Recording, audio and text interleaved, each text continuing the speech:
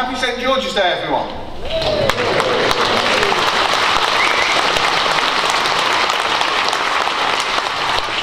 A bit worrying that, isn't it? Because how can you possibly live up to an introduction like that? Well, thank you very much, Amjad. And just having this event at all has caused a little bit of a stir, hasn't it? Labour called us hypocrites because Sage Gateshead has received some EU funding. It's our money. Well, that's my speech. I've got a question for them. Where do they think EU money comes from in the first place?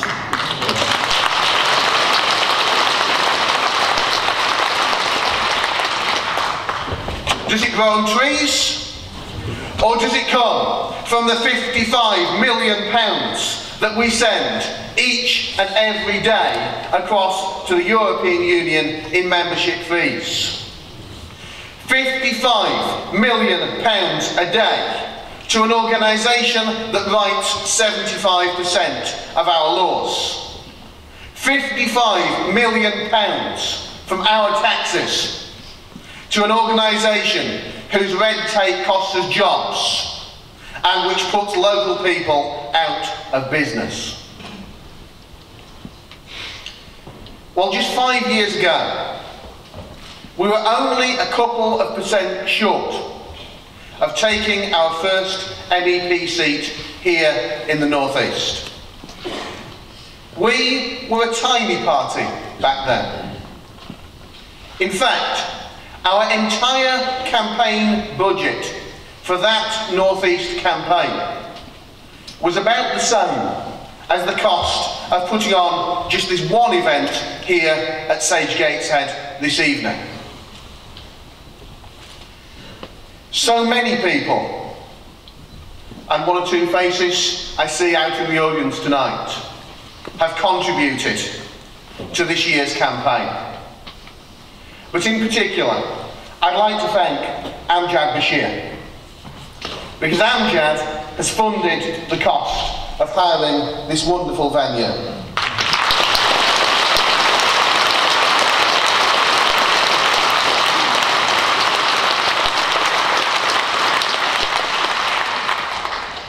So thank you to Amjad, who is, as ever, a true gentleman.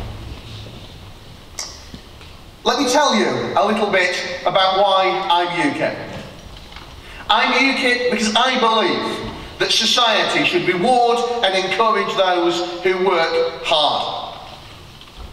I believe that those who are capable of working should always be better off in work than on benefits. I'm UKIP because I believe in an education system which incentivises hard work. You know, I think it's a scandal that more children from working class backgrounds went to Oxford and Cambridge in the 50s and 60s than do today.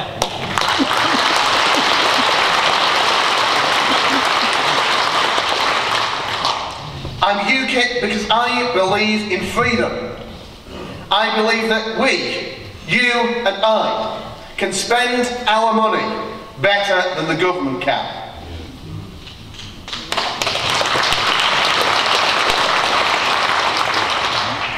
I don't believe in state control of citizens. I don't believe in a European Union that has pumped out over three and a half thousand new regulations since 2010. So many that it would take you 92 days just to read them.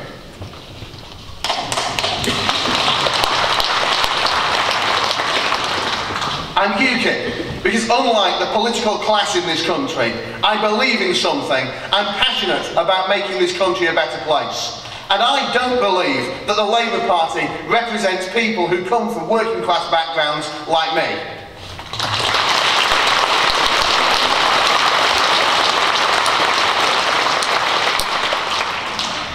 Let's talk a bit about immigration.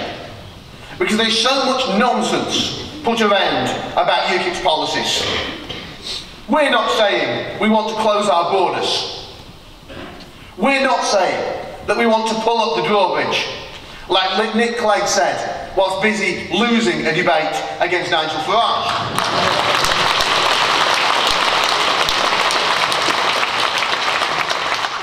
We're just asking for a little bit of good, old-fashioned common sense. Because the problem right now is that we have uncontrolled mass net immigration from 27 other European countries. With 4,000 new people a week coming from Europe.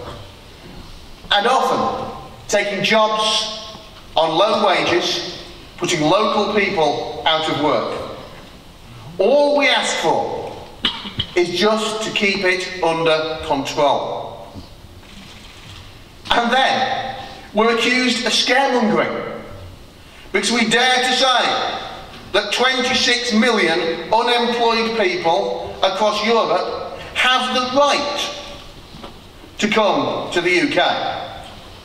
We're not saying that 26 million will come to the UK. But how can it be scaremongering when 900,000 UK jobs are being advertised on an EU jobs portal to citizens across Europe to come here and take those jobs?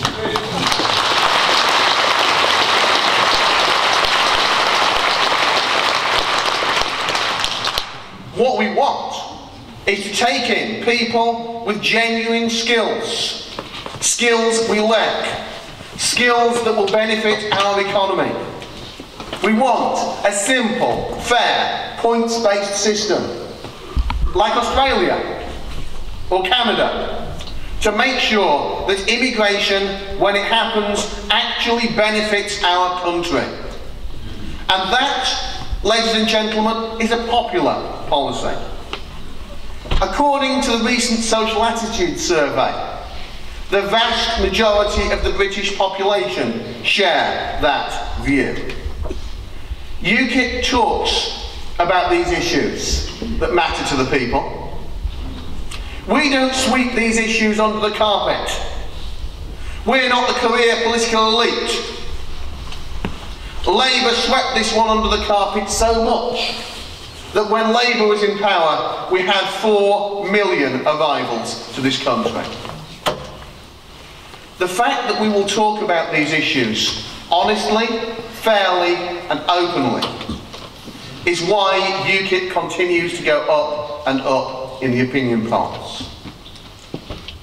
A few weeks ago, a poll splashed across the front of the journal showed UKIP on 31% of the vote in the north of England for the European elections. UKIP 31, Labour 41. The Conservatives, the Liberal Democrats, nowhere. And then we had a council by-election in Sunderland, where UKIP took over 28% of the vote, in a seat that UKIP hadn't contested before. In one of the safest Labour seats in the country, we cut their majority to under 400. And then just a week ago, and yesterday, we've had two more opinion polls showing us just 4% behind Labour because we're closing the gap on Labour and they are running scared.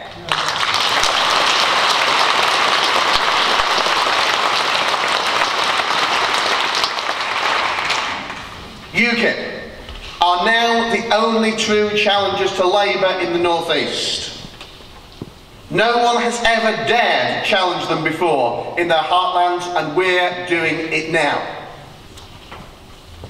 These are working class areas where the Conservatives just aren't trusted, and where the Lib Dems, well, the Lib Dems have Nick Clegg. So Labour just don't know how to react not caring whether it's true, not wanting to be paid the facts, they've started to sling mud at us and spread one scare story after another about UKIP. So let's take a look at some of their claims. Labour claim that UKIP stands for tax rises for the poor. We're the party that stands up for hard working people. We stand for no tax on minimum wage. They don't tell you that, do they? And we've stood for that since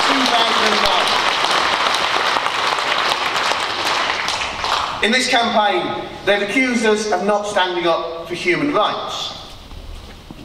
Well, I believe that this country has led the way in championing the cause of true human rights, in standing up for democracy, in ending injustice. In fact, we're the country that gave those fundamental freedoms eight centuries ago at Magna Carta. We stand for true people's rights. We don't stand for criminals' rights, however.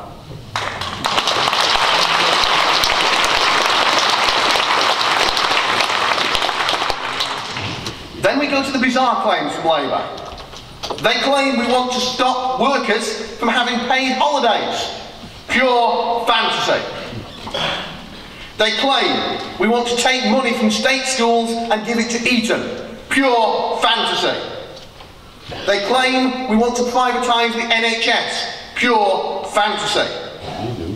It's Labour who introduced PFI. It's Labour who sold off bits of the NHS. It's UKIP who opposed them. So you tell me, who's really the party of messing about with our free NHS? It's just one fantasy after another from Labour. They've never been threatened before in the North East. So they are resorting to the most vicious of scare tactics and lies. They've taken their voters for granted. People have been voting Labour for many years in the North East. We've had Labour councils, we've had Labour governments, and we've got the highest levels of unemployment and, uh, and, and deprivation in the land. Albert Einstein once said, that the definition of madness is doing the same thing over and over again and expecting different results.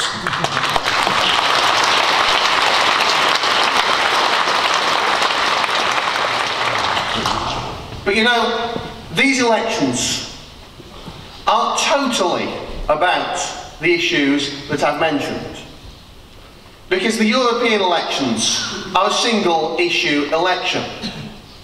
They're about one thing and one thing only. Do you want to be governed by Europe? Or do you want to be good neighbours with Europe? Trading freely, not just with Europe, but with the rest of the world.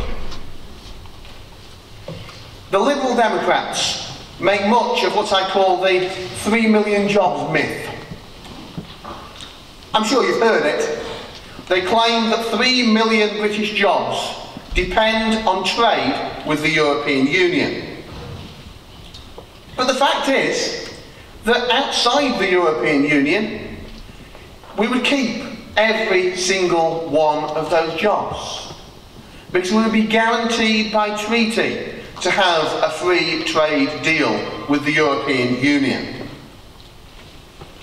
But let's stop and think for just one moment about how ridiculous that myth actually is. Between three and four million British jobs depend on trade with non-EU countries.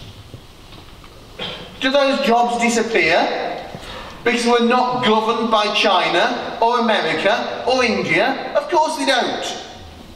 Because it's in our interest to do business with them and it's in their interests to do business with us.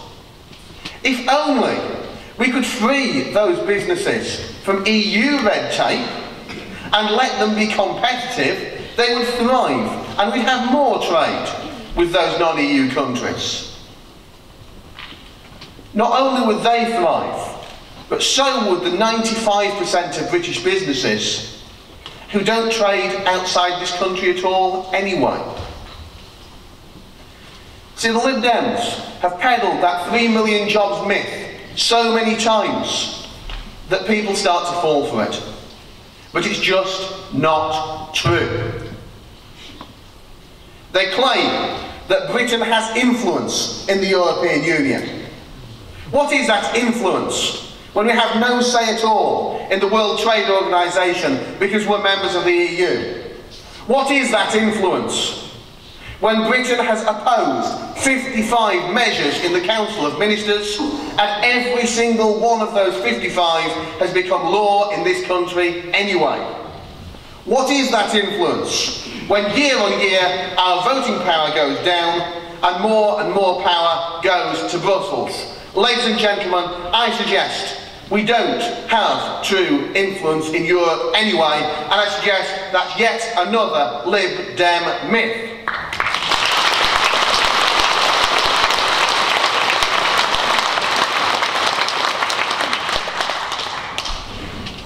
So, in the end, it comes down to this.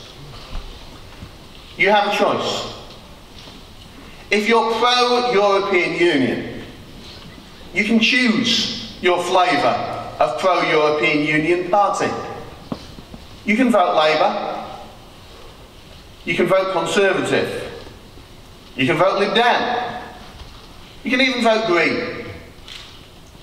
But if you think that the avalanche of European Union regulation that is hitting British businesses has gone too far. If you think that 55 million pounds a day in membership fees to the European Union that no one asked for is too much, well then ladies and gentlemen, there is only one show in town and that show is UKIP. Thank you.